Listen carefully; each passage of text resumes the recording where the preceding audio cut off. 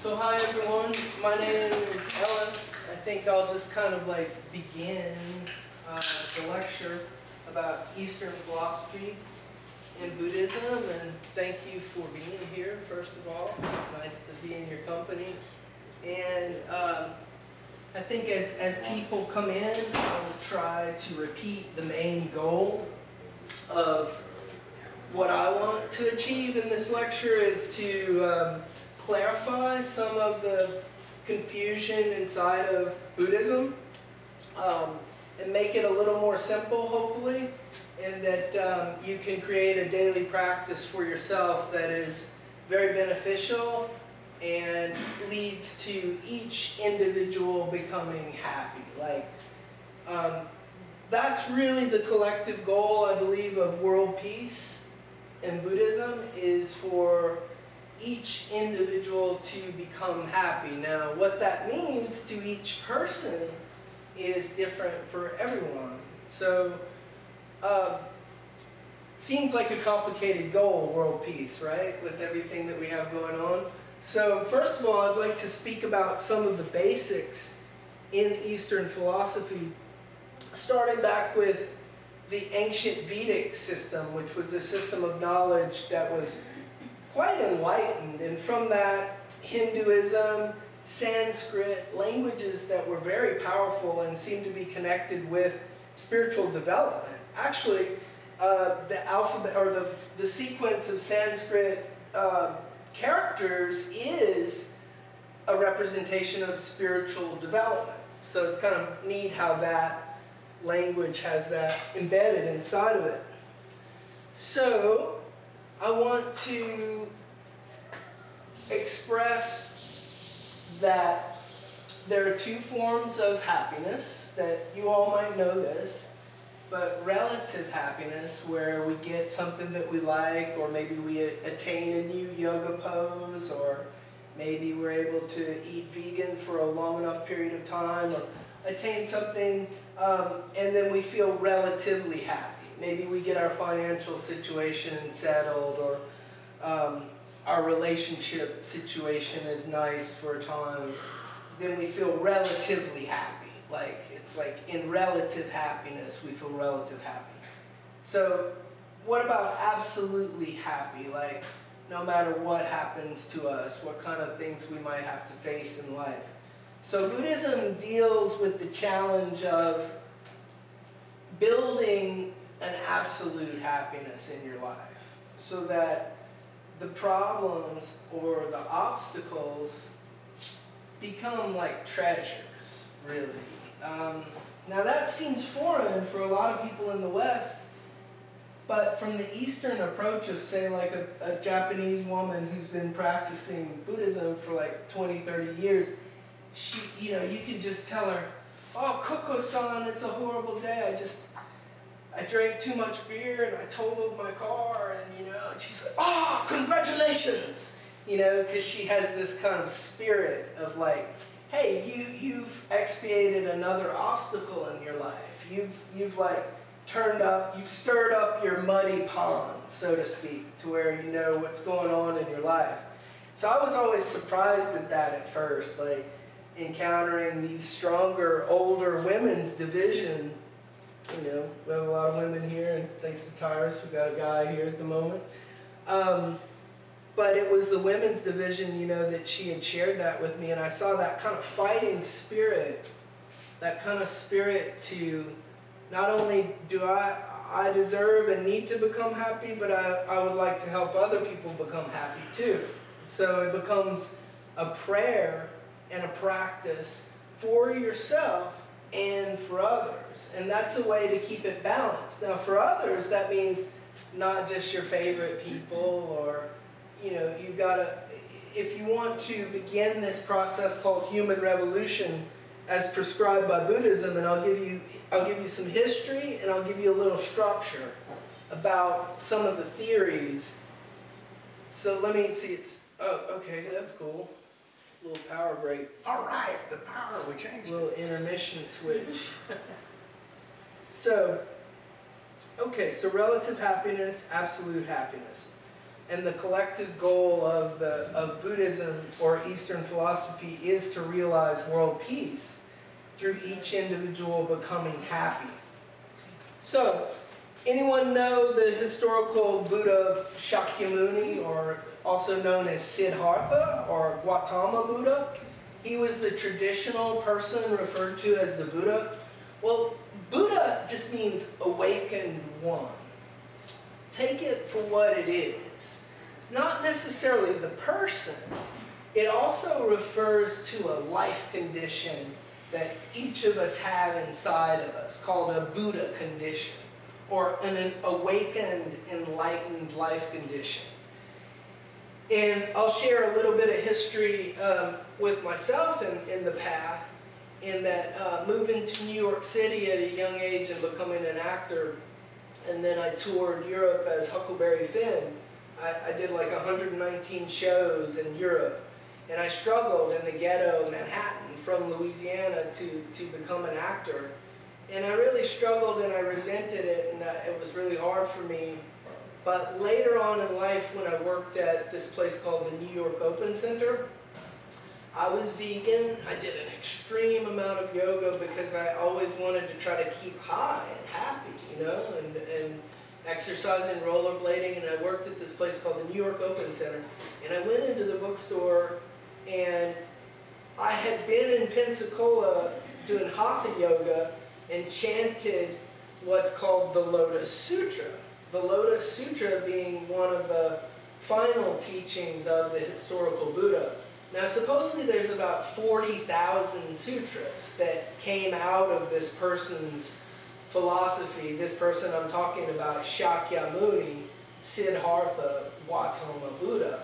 He was king of the Shakya clan in northern India. Um, so I'll jump back to his history. He um, he, he, his father was a very peaceful man, a Brahmin, a Brahmin uh, respecting the higher forces of heaven, doing yoga, getting in rhythm, getting your mind, body, and soul into rhythm. His father was very peaceful. They would do um, rituals like in the river in northern India, like ablutions, where they purify themselves with water. And so his father was a very refined king of the northern India. So he escaped the palace and discovered there were these things that we have to deal with called birthing. He saw somebody aging and old, getting older, you know, all, all these injuries and things. And then aging, getting older. He saw a sick person and he saw a pregnant woman giving birth. So he saw the birthing and he saw someone die off in a coffin. So he basically narrowed it down to these four basic conditions that we all have to go through. And he labeled the time that you and I live in as a latter day or a time in which greed and anger and ignorance take a bigger stage. And it creates a wonderful opportunity, though. Don't be discouraged because the wonderful law of the lotus, which in Sanskrit is Saddharma Pundarika Sutram. So that's like Nam Myoho Renge Kyo. So that's a sounding of the title of the Lotus Sutra that Shakyamuni later in his life emanated the absolute truth, in a sense. Because his disciples were like, please share with this infinite wisdom, this infinite enlightenment. And he's like, no, no, you're not ready for it. But he had spent such long time of his career painting the picture so that people could do the 12, 12 link meditation on causation, cause and effect, the meditation on empty space, the yogas, the things that came out of Buddhism were all helping people raise their awareness. Just like we choose to eat vegan, helps raise our vibration and raise our awareness. So, Shakyamuni set out on his own a mission to conquer greed, anger, and stupidity. So he saw birthing, aging, sickness, death, greed, anger, and stupidity. So it's like, whoa, this is a problem. But that was his lifelong concern, was like how to attain enlightenment and happiness. So um, that's, what call, that's what's called the three vehicle teachings. The three vehicle teachings, from the standpoint of the Lotus Sutra, And this, this Lotus Sutra here is a 28, I believe it's 28 chapters long. From the standpoint of this teaching at the end of his career, he died at about 80 years old, the traditional Buddha, Siddhartha Gautama. And so at about 40 years into his preaching career, he revealed this, uh, this thing called the Lotus Sutra. Well, we're going to get to that, and I had just sounded out the title of this, this volume of his was called Saddharma Pundarika Sutram. But then in, in transliterated Chinese into Japanese, it's Sanskrit Namu Myoho Renge Kyo. So that means the wonderful law of the lotus. The wonderful law of the lotus. So when I was a young man uh, working in the open center and, and trying to figure out how to feed myself and go to Whole Foods because I wanted to eat the good food, because they had a Whole Foods down in Manhattan and Soho.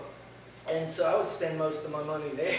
It was like whole paycheck to me. Right? And uh, so I went into the bookstore and looked on uh, The Artist's Way. Artist's Way was, was a course by Julia Cameron.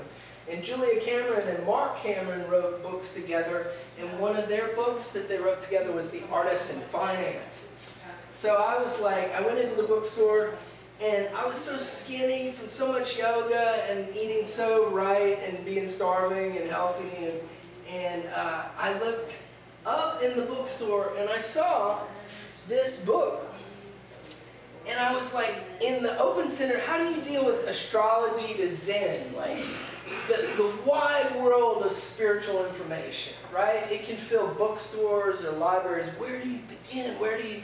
Well, in, in Manhattan, in the New York Open Center, I kid you not, and I'll share this in my novel. I think I'm going to write this in my book that I'm writing, but um, the book was up high shelf. It was like that, and it was glowing apart from the rest to me.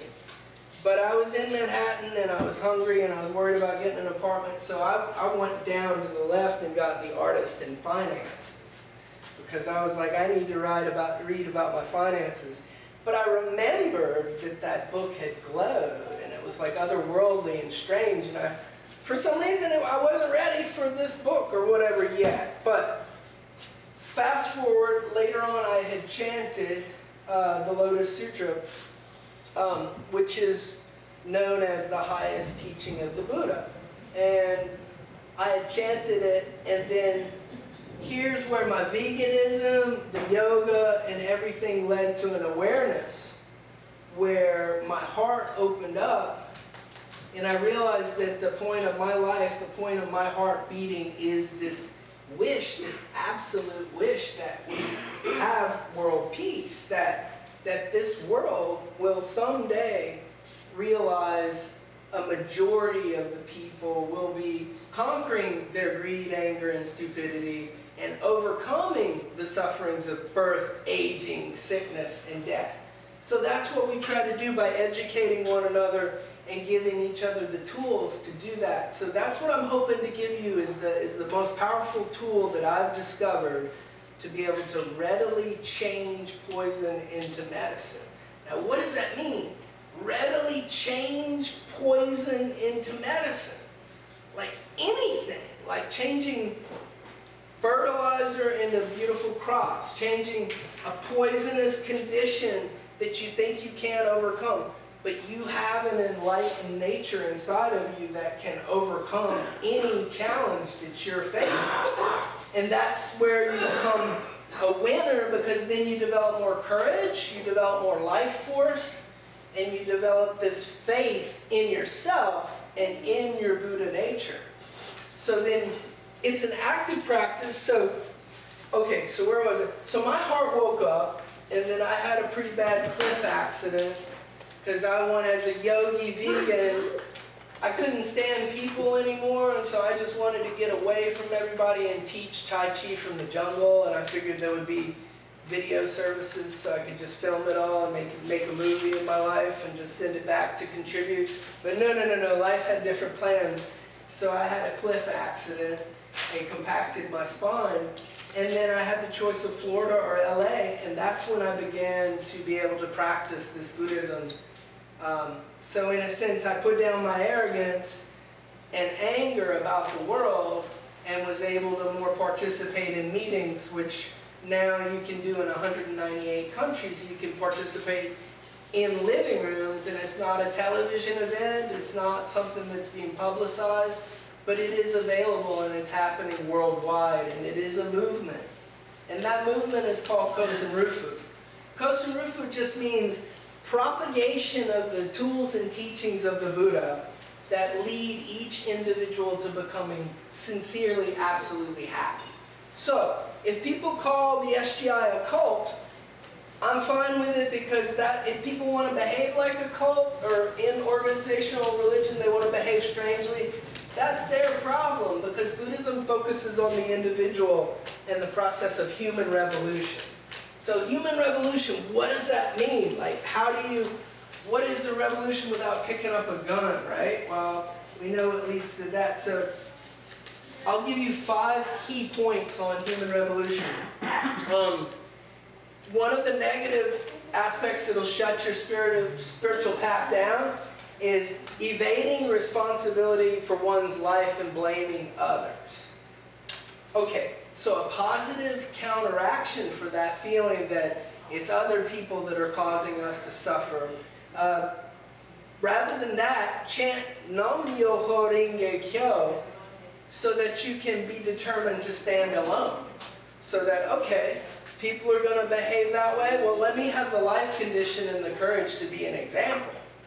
And so let me chant to uncover my Buddhahood.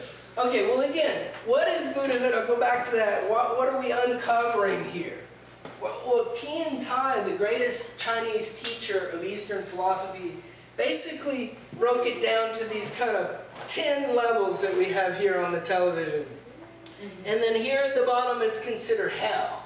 So hell is a life condition where you wake up in the morning, maybe after a jazz fest or something, and it's just been an incredible time, but then the rent's due, you get an eviction notice, and your cousin broke his leg, and you, the fun, oh man, you just feel hopeless. So that's a life condition of hell. But then you're like, man, I just want some granola and some sausage biscuits from McDonald's. So then you're hungry, you know? So there's hell, hunger, animality, which is also called the path of the beast. These are the three lower paths. Animals are all about control and be controlled in a sense. So people operate at about 90 something percent of people probably operate at that level control or be controlled, where you want to control or be control of other people. So hell, hunger, animality, anger. Anger is a form of arrogance. Um, but anger can also be the force for positive change.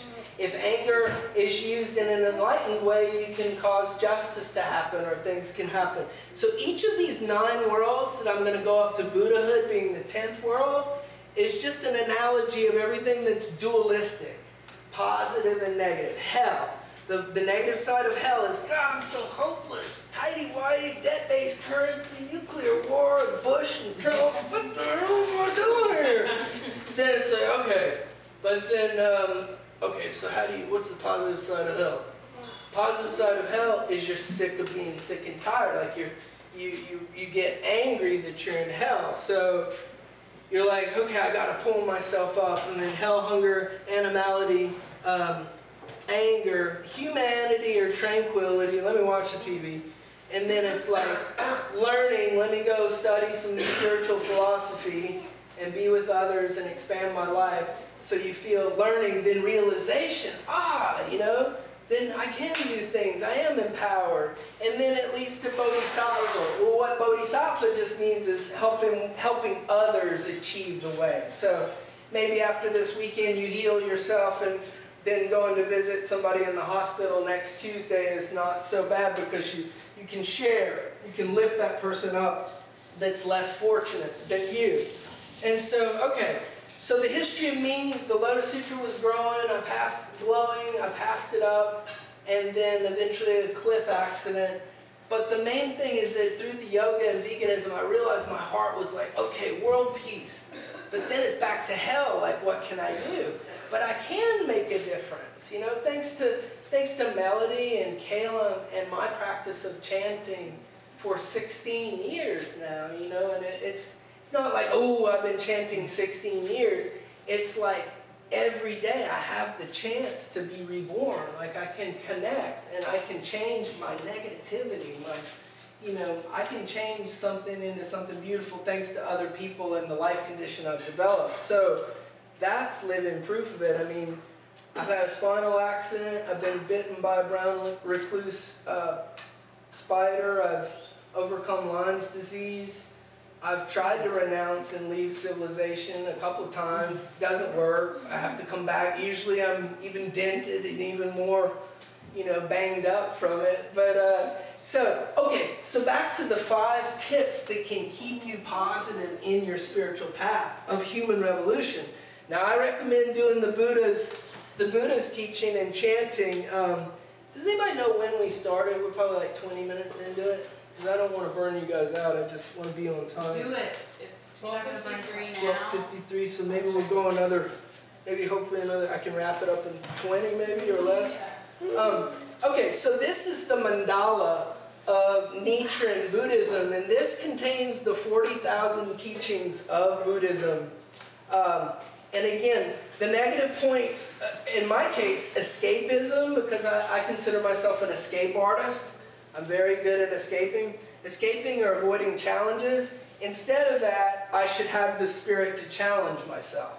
Okay? Then doubt and disbelief comes up that results in grumbling or complaining, complaints.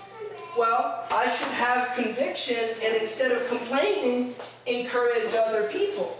Like get out of myself and go to a Buddhist meeting or go to a gathering and encourage other people so that I can change my doubt and my disbelief. Okay, that's another point of positivity in your path. If you feel jealousy or resentment, we all do, instead think, okay, let me create harmonious unity. How can I help instead of, how can I be grateful? How can I have gratitude instead of falling into the negative disparity? Disparaging myself and disparaging others is one of the things that reduces fortune and causes karma. Karma, what is karma? Basically, action or cause and effect. So we all know what we're doing with our karma. So if I experience fear or cowardice, then I have to summon courage and I have to get on my knees, you know, and if I'm afraid of that audition, you know, and, and it's like I hate auditions. For 20, 30 years I've been an actor, but it's like when they when they put you on the firing block and you're like, you're in question, it feels miserable. But can I believe in myself? Can I get on my knees or in my meditation and, and say solemnly to the Gohonzon, which is a target of enlightenment, basically, it's developed in the same year that the mirror was developed. The silver mirror, I think, was something like 12, uh, don't quote me, but something like 1272 or something. And they tried to take the technicians for the mirror and park them away, but as we know, we all enjoy a silver mirror. Well, before that time, in reality, people couldn't really see themselves that clearly. It was like a polished copper, or you would um, look in a pool of reflected water, but the image was distorted. So interestingly enough, uh, was a fisherman in Japan in the 1200s, and uh, he, Nichiren, Nichiren believed that the heart, the heart of Shakyamuni Buddha's lifetime teachings lay in the Lotus Sutra, and that the heart of the Lotus Sutra's practice lay in the never disparaging chapter. In one of his letters, he writes, What does Bodhisattva never disparaging's profound respect for people dignify, signify? The purpose, the purpose of the appearance in this world of Shakyamuni Buddha, the Lord of, Lord of teachings, lies in his behavior as a human being. This letter, which resounds with praise for the humanism of the Buddhist doctrine, stresses that the truth of Buddhism is to be found not in the words of the sutra alone, but in the Buddha's aims as they are revealed in his actions as a human being.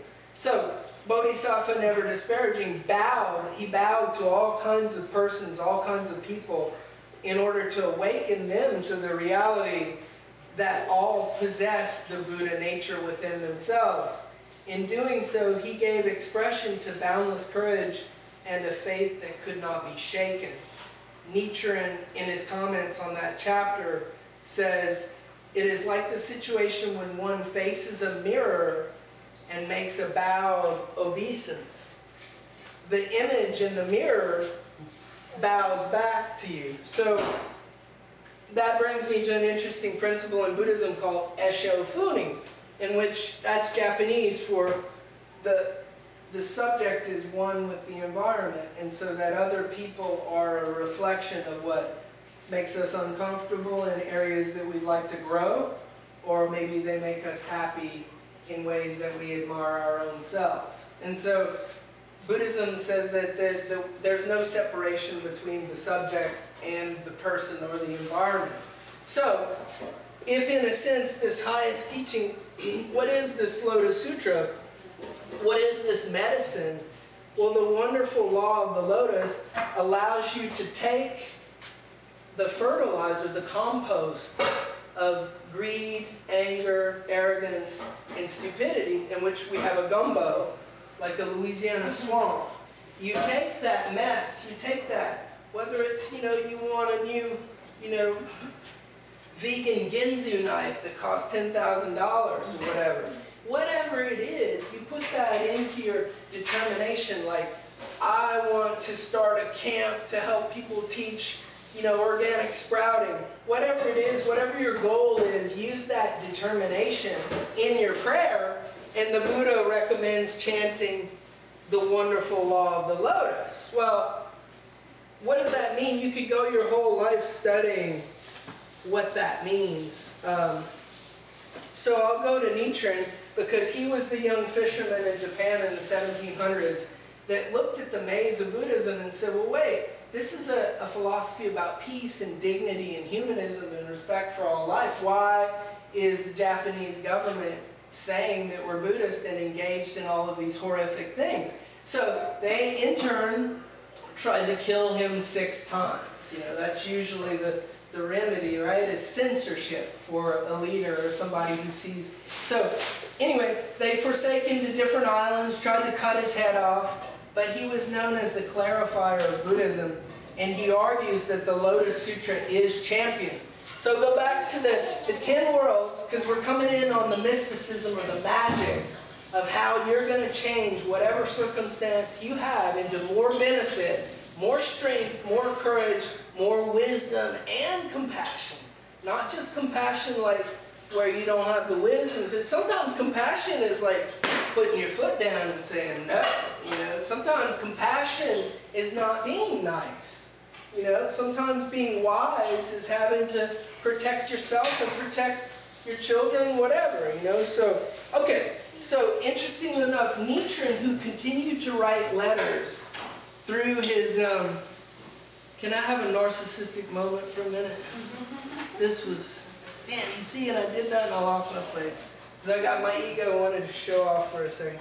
I was like, see, this was me when I was all vegan and long hair and like, you passed away. Um, It's a real vegan. Wow.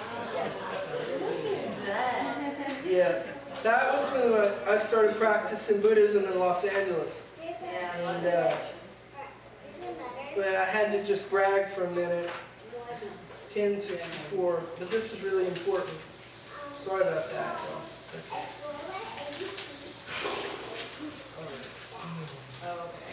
On, this is so good. You can do it. You can do it. Person in law, 1094. Okay. Okay, so got some history. Um, some history, 1094. I'm sorry, guys. I'm having a dyslexic page head. Person in law. 1097. Okay. Got it. Back on target. Okay, so history, my history. No, no. So, thank you. So that was me, vegan, and like hours of yoga and practicing the Lotus Sutra. So, uh, that really saved me from my arrogance and my anger and my awareness of being so painfully aware of everything as I as I just you know I mean I love I love cannabis a lot at the time and psilocybin. I grew up um, harvesting my own mushrooms in Louisiana, and I really appreciate entheogenic experiences. I'm a writer and acting coach. I've been a massage therapist for 20 years. I, I'm on TV shows, movies. I produce, I direct, I make videos. Um, so I believe that my life has become a lot more expanded by my practice with others and practicing with you guys and having this opportunity to talk expands my life and then I can overcome some of my deeper difficulties. And that's what it's about. It's about us overcoming and winning in our lives. And so you're helping me to win by sharing the law, basically, this law in the universe that exists. No matter if you feel evil or good, no matter, it doesn't matter. Like the, the value that your spirit can create supersedes your feeling if you're doing good or you're bad. You know, I'm I'm doing I'm not eating perfectly. It's about you becoming totally, absolutely happy. That means free in your diet, respecting your choices if you're going to eat a certain way, and not putting yourself through torture. It's about catching yourself mentally and reflecting honestly on your life. So, this came about the time of the mirror, and Nichiren says about the person in the law. Like, do you follow a guru? Do you follow a person? Or do you follow the law? Well, that sounds great, but what is the law? And when do you know when people are exhibiting the law or they're not? Well, in truth, Buddhism says they're always exhibiting the law. And, and Buddhism also says that evil and good are informed by the same entity. That life is the entity of good and evil. And good and evil has existed since time without beginning.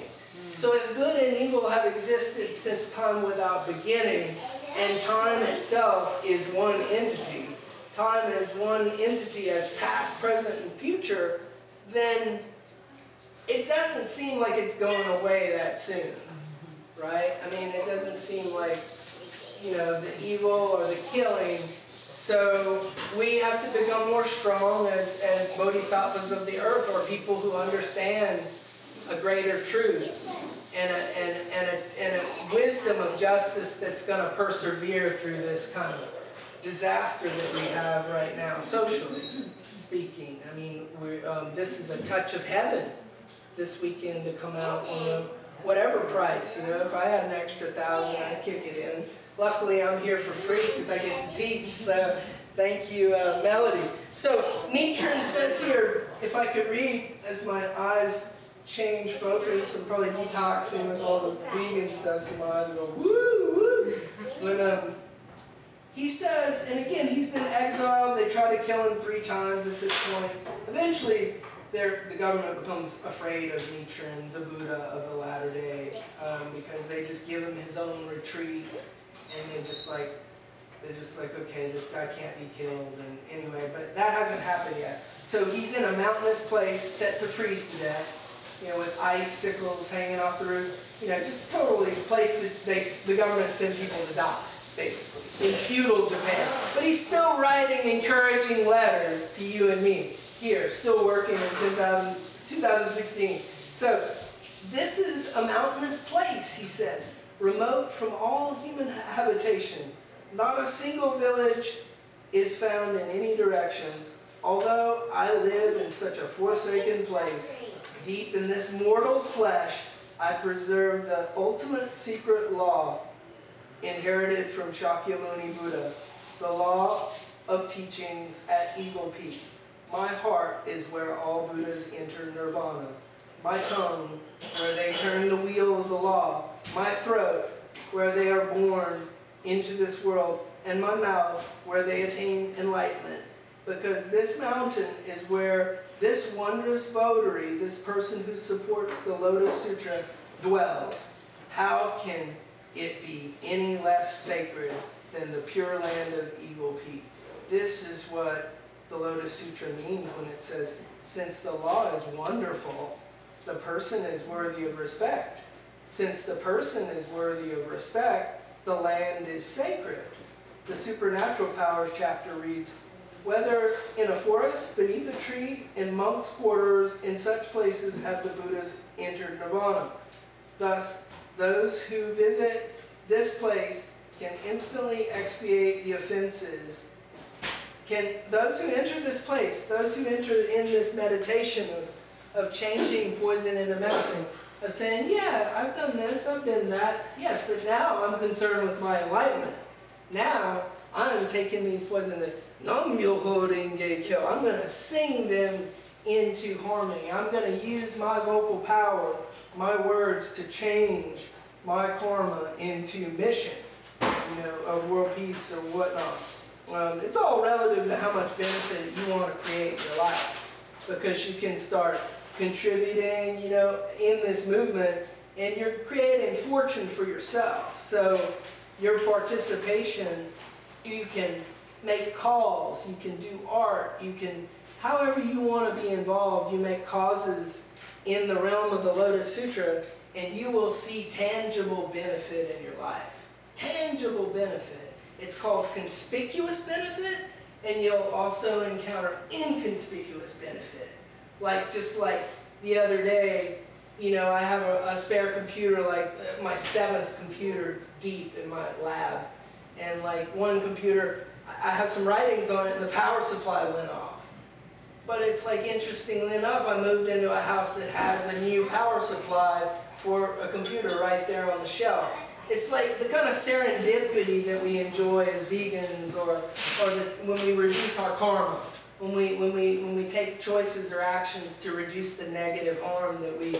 Sometimes we're able to receive instant karma or a benefit or a signal that shows us that we're on the path. Well, if you want to short circuit that and create a lot more benefit for your life, you can sound out these words of the title of this Lotus Sutra, and I'm going to get to um, a, a definition again of what that is. But anyway, so he's basically saying um, that he's the happiest person in the world forsaken to a mountain village because he realizes enlightenment is such a great, greater treasure. Like he's truly happy because his suffering has been so deep. So if you feel like you've suffered very deeply, then celebrate that because you can use that. You can use every negativity simply by facing it. It's a little queasy. To tell you the truth, when I was a little kid, when the washing machine went out of balance in the house, it was like, I think I was like two years old or three years old, and you hear boonga, boonga, boonga, boonga, boonga, boom. You ever heard a washing machine go out of balance, right? Well, that scared the poo out of me when I was a kid. You know, I was like, whoa. Well, human revolution, changing your insides so that you can shine your light of Buddhahood is kind of queasy. It's like a washing machine that goes out of balance because when you start to do your meditation, there's going to be like, oh no, maybe I should just get to my smartphone. I got to go check my emails and all that. You might, I find myself trying to get out of uh, the feeling of human revolution, of like the habit of, no, I don't want to face my enlightened life condition. I want to run. I want to escape. I want to blame. And then there I'm back into the suffering wheel, so I might as well get enlightened and chant for my, um, you know, in, uh, for people that you don't agree with or whatever. And so um, that really, really, really works, and that's why I've continued to do it for 16 years. And um, okay, so a little bit about Nichiren. Um, okay, so one statement about Nam Myoho Kyo. Uh, and again, this is an introduction. I hope, I don't know how much more time do I have, you think? Do I have like maybe 10 more minutes? What feels right? About 10 more minutes or? Or five? Um, up here I have cards.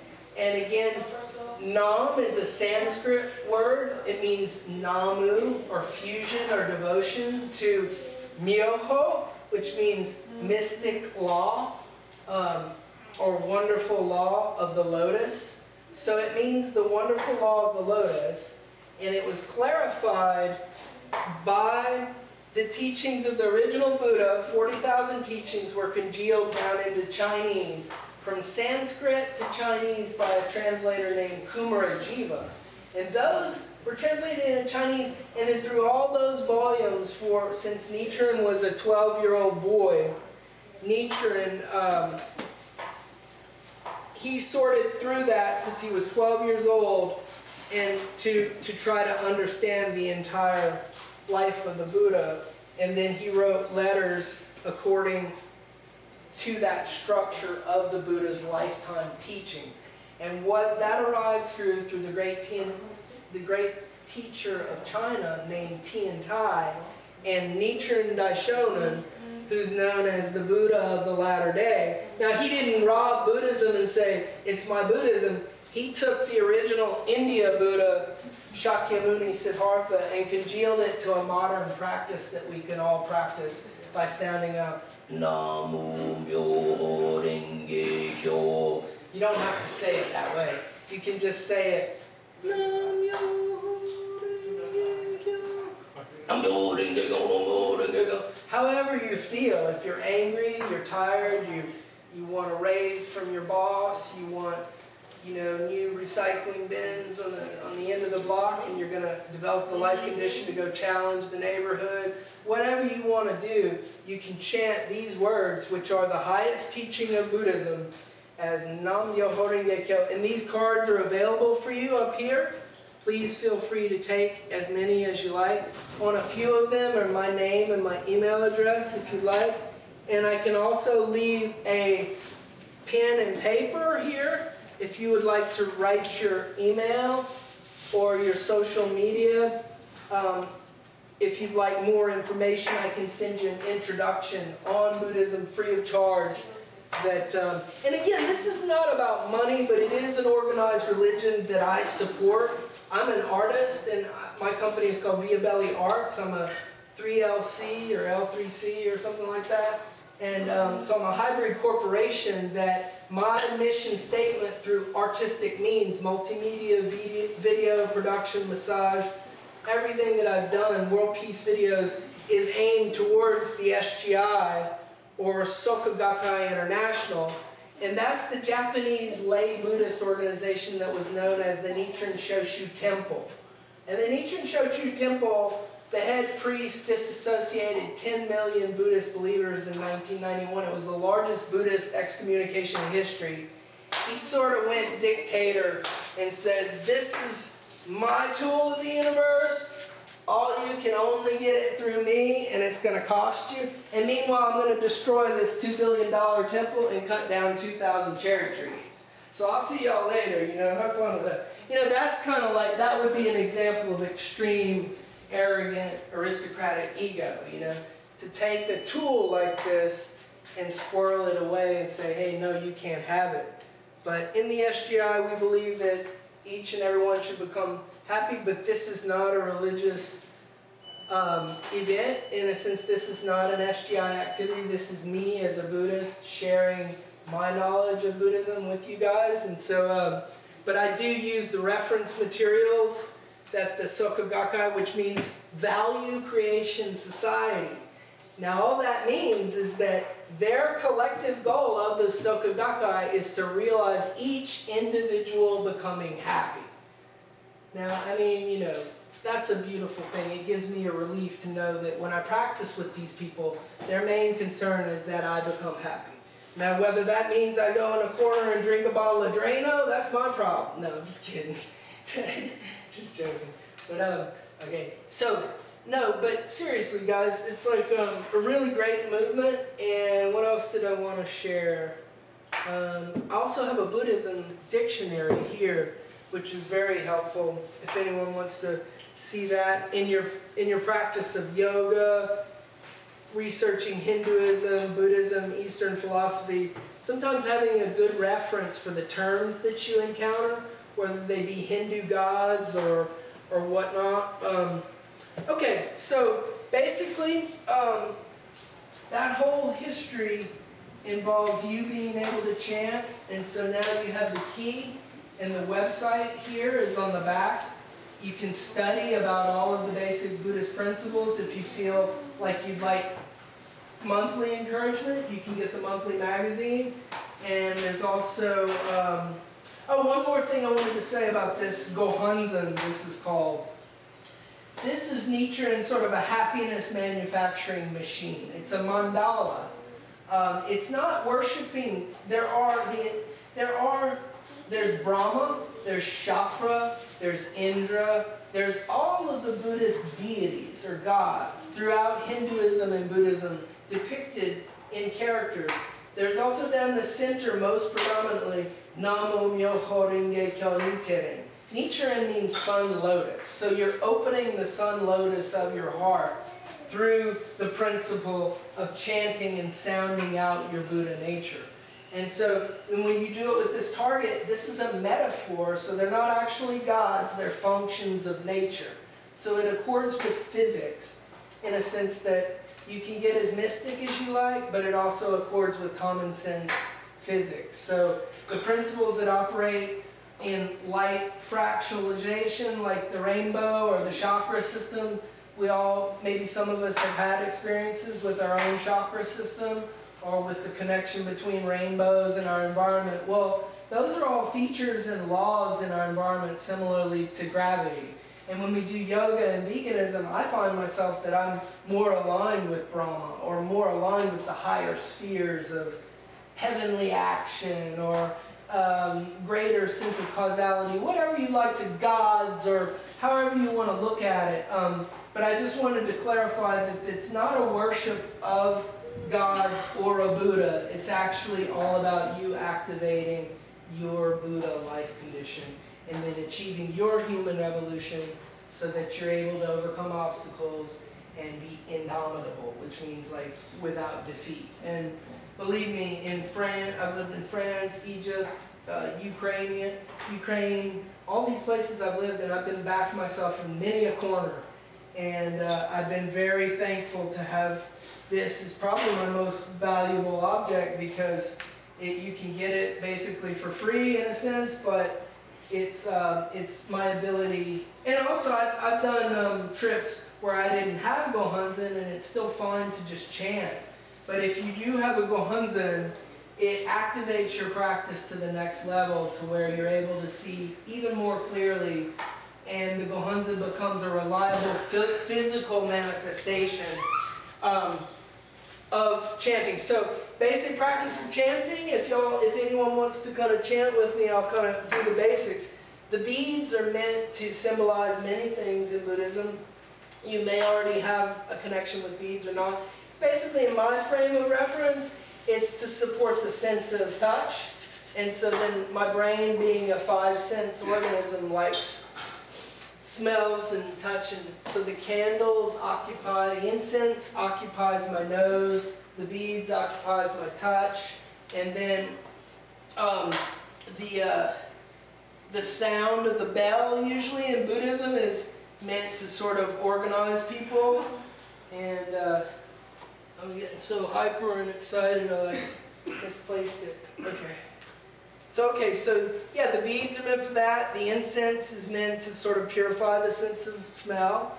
And uh, good lighting. Usually there's evergreens or some greenery that you want to put at your altar. And uh, that helps you remember the sustaining of nature. Sometimes people put water. Any kind of offerings at your altar is meant as a representation to help you connect with your meditation or to help you connect with your practice. And basically, if anyone would like to chant with me, um, that's how I'll end this class is on chanting the Lotus Sutra. And um, that's how I'll end together. but I'll chant it very slowly. And I'll start with Nam Myoho Renge Kyo. And if you'd like to join, I'll repeat that. And then eventually I'll stop with three of those and then we can close out. So if anyone wants to try Nam Nam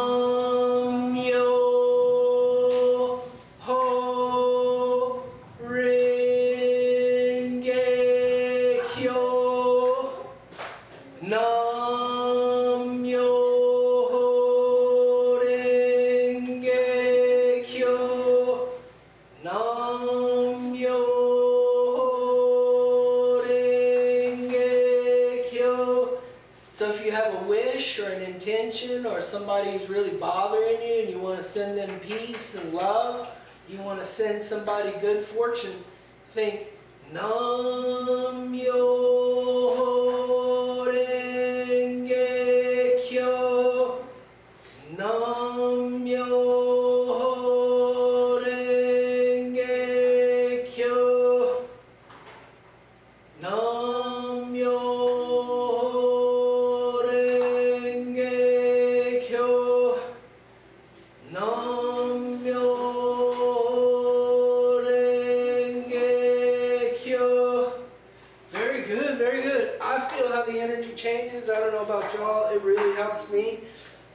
carry the practice to the next level, you go on to recite the two main chapters of the Lotus Sutra.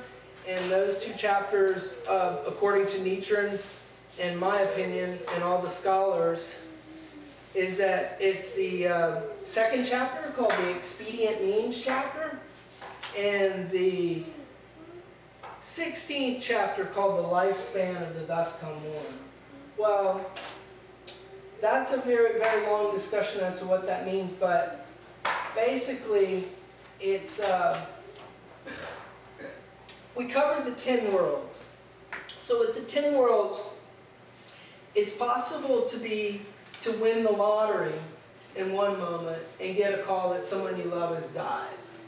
So on one end you're like, wow, I'm financially set for the rest of my life, but then my sweet baby, you know, she's dead or whatever. And so it's like you can see how we can be in two worlds at once, right? How in life it presents a challenge and a reward. Uh, well, Buddhism says that basically you can use this prin- principle to your advantage because it's actually a matrix of infinite possibility. Now, it's called 3,000 realms in a single moment of life. Well, what is a single moment of life like? 1 60th of that moment. But that moment that you make a determination begins a chain of causation. And when you begin your day with sounding out the Buddha's name or this mystic law of life itself, you're setting the tone and the rhythm of your day. You're becoming the captain of your ship. You're honestly discarding everything else that may have helped you get to there. It may have helped you, and it still will if you keep those disciplines. In my case, I was so happy that I had compacted my spine, and so it was hard to be vegan and not angry because I no longer had that wonderful spine that I had. I had a a yogic body and everything was really great, but then now I was smashed down to the earth of the rocks of the Atlantic. And so it's like sometimes you need more than what the nutrients can give us. And you need what is your your right to claim, your right to be happy, your right to be your own power in this world. And that's what you do. And those okay, so the ten worlds point to this thing called the ten factors. And that's a matrix that says when you chant Nam Myoho Renge Kyo, you're actually able to supersede all of those matrices of possibility.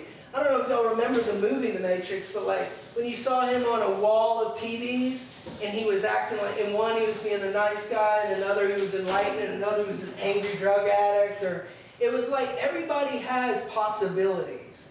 But it's like you want the one that's going to create the most happiness you want the one that's going to create the most benefit. And sometimes, as smart as we are, we can't even do that because it's a crazy, confusing time. So if you know you have this place that no one can take away from you, and that's the structure, that's the, the hidden structure of those two chapters called expedient means and lifespan chapters, that's what they mean. They mean that you have this ability to tap into the 10 factors of life, which I won't get into right now, and the 10 basic worlds or the 10 life conditions that you have. And you're able to enlighten any of those worlds that you're in. So it's sort of unbelievable until you try it and practice it. And that's why I hope you get a chance to at least start chanting it here. There are plenty of places to learn how to chant on the web. One of my most popular videos is actually teaching people how to chant, which is amazing because I was hoping a lot of my other more personal videos would be more popular, but it seems like that's what's helping people the most. And that's really what matters the most. So that's basically it. Um, and uh, I guess I could close by, by throat singing gongyo for y'all if you'd like. I, if you want a blessing of peace from my heart, I can um, I can chant gongyo for you um, with throat singing, and I'll just wish you guys the best um, practice in whatever path you choose to take. And this is the path I've chosen to take um, because I felt like I could make the most difference in real life and be a spiritual person and still sort of uh, survive. so it's been a real great treasure. I think I'd be dead 10 times over had I not been chanting and meeting with people like yourself for 16 years because it's given me the chance to overcome so many of my problems. So thank you for listening and your attention. And uh, thank you again for giving me this chance to share and overcome my problems. And because really sharing helps me build my fortune. And so uh, you helped me overcome my illnesses. So thank you. And I'll, I'll go ahead and as a, as a gratitude for, for y'all paying attention and learning, I'm going to chant the two main chapters of the Lotus Sutra. And you can do whatever. You don't have to be um, sanctimonious or anything. You know, you don't have to be quiet. Do whatever you want to do. I'll just uh, do that and, and send a blessing to you and your family.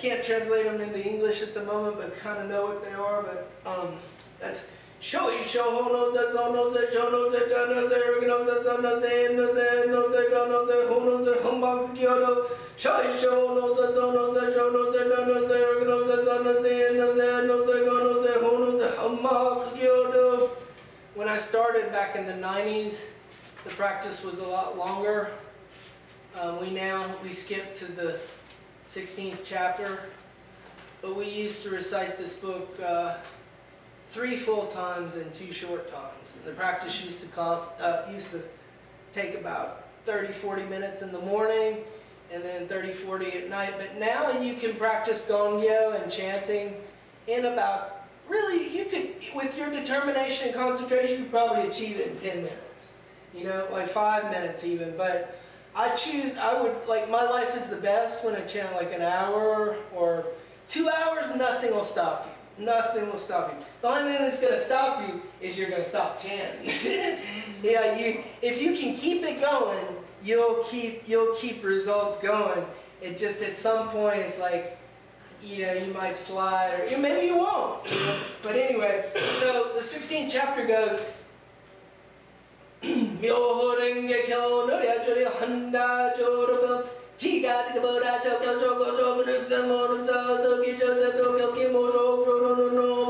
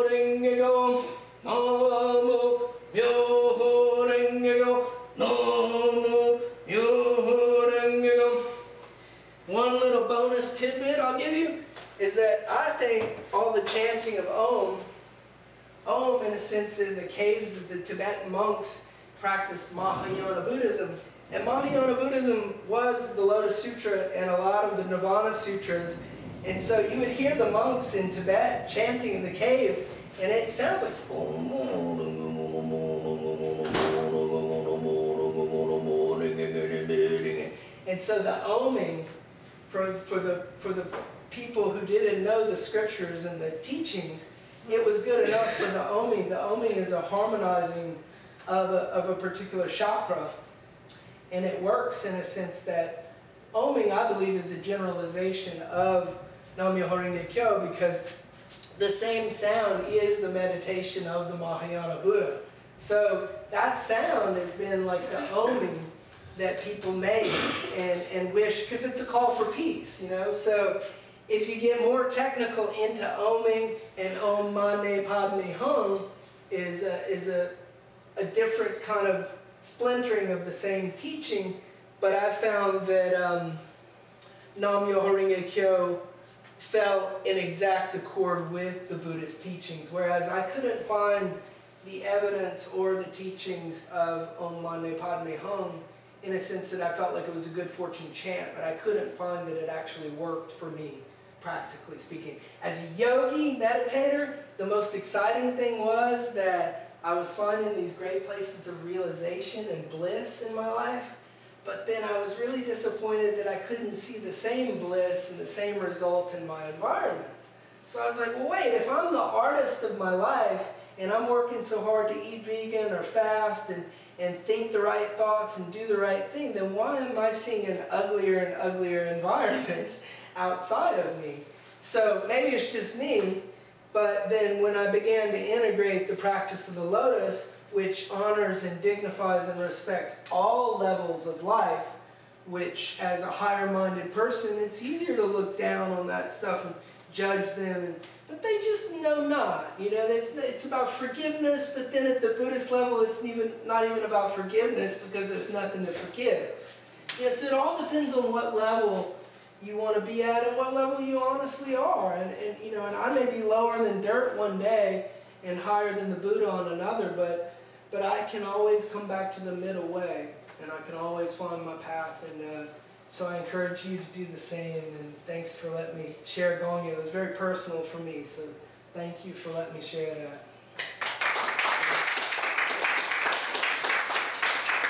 So